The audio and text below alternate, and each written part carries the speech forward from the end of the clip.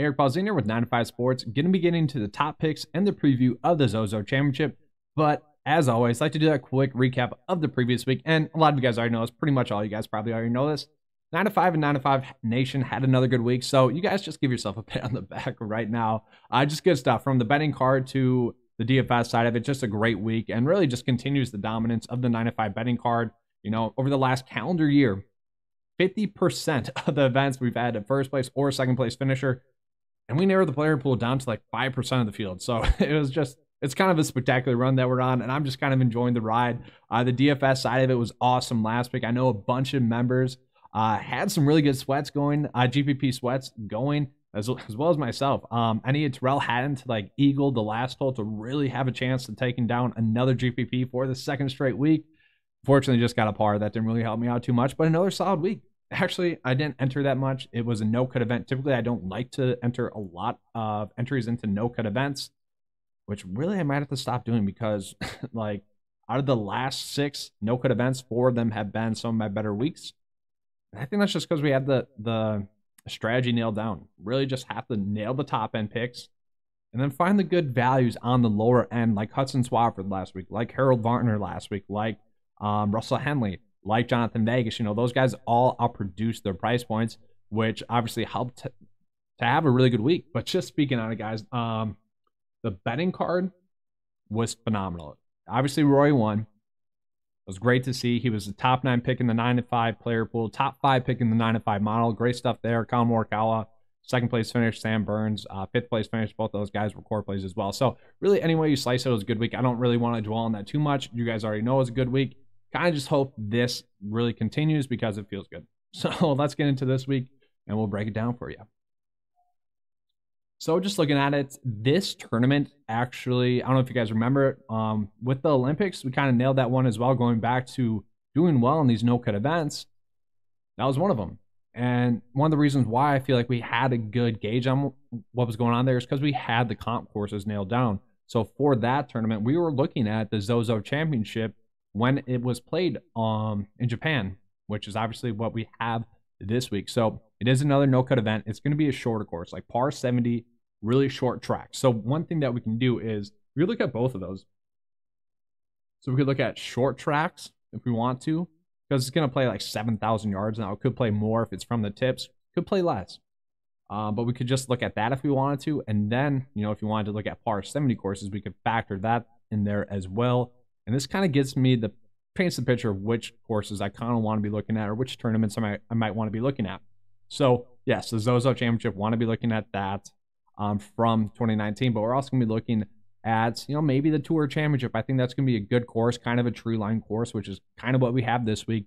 Uh, this is supposed to be more of a Parkland style course. The greens are apparently bent greens as well, so you could look at that as well if you want to. But for comp courses, what I'm looking at is going to be the Zozo Championship when it was last played here, so 2019. And then I'm going to be looking at uh, the Tour Championship 2021. I'm going to be looking at the Olympics from 2021. And then the last one I'm going to be looking at is actually going to be the Travelers Championship. I kind of felt like that was the most accurate in terms of how the course kind of somewhat plays, even though it's a TPC style course and it's a really short course um, and a full tournament field event. I kind of felt like that one kind of gave us a good gauge of how this course plays. So those are going to be the four kind of comp courses that I'm looking at this week. And then just kind of looking at that, we can see which key stats kind of pop up in those conditions. Obviously, take this with a grain of salt. We're just doing the best that we can with the information that we have um, at hand. So just looking at you know short courses um, and par 70 courses, we can see birdie or better percentage always a big thing. We can even go further here, guys. So event type, if we wanted to, we can even go further. So let's go to no cut event. That's going to really limit the amount of tournaments that we have per se. So let's take par 70 out of there. Let's look at short courses um, and no cut events. A little bit more dated there, but not that much. But let's just see here. So birdie better percentage we see, par 5 scoring, par 4 scoring. That stuff's all popping up. We do see strokes gain around the green a lot. That's huge. strokes gained approach is going to be huge as well. So those are going to be some of the key stats I'm looking at. Then we do see total driving and ball striking uh, pop up there. But one thing I want to point out is that when we do look at um, par 70 courses, then we do see ball striking really over total driving. So I'm going to be looking at ball striking as well. Really, it's going to be kind of the same key stats as last week. We're going to be looking at those scoring based stats. We want players that can score. We get four rounds out of them. So, you know, we don't really have to worry about a, a player missing the cut. And that's kind of why I liked uh, Collin Morikawa last week. Yes, there was the the membership narrative, but I kind of thought he would start off slow. That was kind of the worry with him. And then just knowing that we got four rounds, though, kind of made it an easy play for him we're going to be focusing on that once again this week. So let's get into those picks this week, guys. Um, we'll pull up the cheat sheet and just kind of want to throw something out there. Did kind of an aesthetics thing here for uh, the 9 to 5 player profile, just making it a little bit better looking. And then this coming soon, we're going to have a results DB here coming here, results database for the guys, just so I can, um, you know, show you guys. I know uh, it's all documented what we have anyways with the write ups and whatnot, but just kind of another tool for everyone to be able to see um, everything that's going on. So ownership, obviously, that's not live yet. This is from last week still, but uh, we'll get into that a little bit more. So I do think that Xander Schauffele, I think Xander Schauffele is just kind of the class of the field uh, for this event, guys. Uh, solid recent form, you know, 18th place finish. Some people say that's kind of bad, but it really wasn't. You know, we'll take that from him in a no cut event. That's fine. Uh, but what I really like from him is going to be that comp course history. He's the only player that has three top 10 finishes for comp course history that we're looking at. Obviously, he won the Olympics. That's great. Had a top 10 finish at the Zozo Championship here in 2019, then had a top five finish at the Tour Championship. Xander has been a stud. Okay. He's a top rated player in the 95 mile this week. I love him as a pick. So I'm going to be starting out all my builds with him pretty much. And then Collin Morikawa, I do like as well. Great stat fit. Um, top, you know, he's checking all the boxes as well.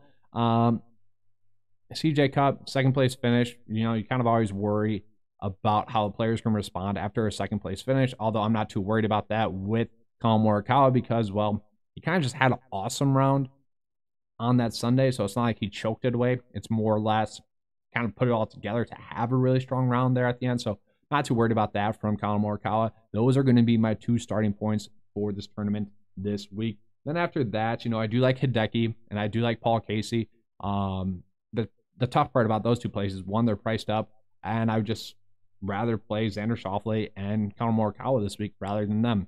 One player that was kind of popping up, Alexander Noren. Don't mind him. Um, just you know, find recent form prior to that CJ Cup last week. The problem with him is, you know, not not horrible, but not great in TPC style, um, or not TPC no cut events is what I mean. So not the best in no cut events as well. So that's kind of my worry with him. Maverick McNealy is a play that is popping up once again this week, guys. So Maverick McNealy, top five player in the 9 to 5 player pool this week. And he was interesting. So he did start off well, kind of choked it away at the end there. Um, does gain a little bit of strokes on bent greens, does gain some strokes in Parkland style courses. One thing I should have pointed out as well is that this fairway length it is going to be a little bit tighter this week. So that's something to focus on. Like last week, I, I liked Rory um, because he, he, he could get away with um, being able to be long off the tee. If he had some bad tee shots, it wasn't going to penalize him too much. This week, it is going to be a little bit penalizing. So we are going to be looking at that average uh, strokes gained tee to green rank for fairway length because it is a little bit tighter. That being said, Maverick McNealy is kind of a push there for him, but I just kind of want to throw it out there for you guys. I don't mind him this week. We're going to have to pay out for some players that we don't love to, I think. Kind of like Jhonattan Vegas here, who also really looking like a solid pick comp course history wise, pretty good. You know, we'll take that. Um, just looking at it, you know, no cut events does gain strokes there. Do like to see that a little bit better putter on bent greens as well. Overall ranks as a top three pick in the nine to five miles this week, which is kind of crazy, but he does take advantage of the scoring situations. Really strong ball striker, really strong in par five scoring. There are three par fives. Radio barrier percentage is good enough. So yeah, I do like uh, Jhonattan Vegas this week. Again, it's just wow, we're gonna have to pay up a lot for him, and I don't really want to do that. Although we're kind of forcing to paying up for some players that we might not, you know, normally want to. Ryan Palmer, I don't mind. Adam Schenk, I don't mind going back to the well with. Part of the GPP win from two weeks ago, I'll probably go back to the well with him as well. But uh, a little bit worried about him as a play, but he is a better putter on bent greens as well. Um, Let's continue to go down lower here because, well, that is what this week is. Like every other no-cut event, it's all about finding the studs you want to pay up for and then finding the value plays that are going to help you get there, help you succeed. Maybe you want to go with Sepp Straka, which with course history, uh, two top 10 finishes. We'd like to see that. Um, nothing else that we really love there. Slightly better putter on bent Green. not going to rank out really well in the 9 to 5 model this week. Um, but still top 20. That's good enough at this price point. Good enough to take the risk. Not someone you want to go crazy with, but someone that, you know, could get there. Um, another one is going to be Troy Money Merritt, who I kind of like him a lot this week, just at this price point. He's a guy that can get hot. Look at those putting splits. Much better putter on bent Greens. Okay, guys, that's really what I want to focus on there with you guys. Uh, a little bit better on those Parkland style courses as well. Um, he's a guy that really just, when his game gets hot, he's going to be good. Don't worry with him is going to be a strokes gained around the green. That's kind of where his game has struggled. Look at his last like four events 124 rank that week, uh, 91st, 62nd, and 73rd. Okay, those numbers have to be better this week. If they're not, he's going to struggle. We're not going to love that. But with Troy Merritt this week, the price point is right for you to be able to take the risk. He's a guy that typically can score. He's a guy that typically can have a good round. Um, possibly going to be a good showdown pick for you guys as well, which last week, once again, great showdown, round two showdown, had a nice sweat going. That tool continues to be a great tool. So if you guys, honestly, if you guys are playing PGA DFS, you're playing showdowns, I, I honestly think the membership's worth it just for the showdown uh, content. And one small thing, it is automatically updated now as well. So excited to have that for you guys. So you guys can look at it throughout the round. It updates like pretty much every hour now. So that's that's a fun little feature there as well. Um, then going lower. So there's not that much that I love. I'm kind of hoping that Matthew NeSmith can uh, kind of turn it around here. Uh, you know, top 14 finish at the Shriners, kind of just hanging my hat on that. Um, nothing crazy here. We're trying to find something. We know, statistically speaking, throughout his career, he's been a strong player. Not lately, 6.5, and that's why he's priced here. Okay. Once again, just trying to find some values. It's early on the week. We got to figure out where to go, and he might be someone that, you know, kind of interests me.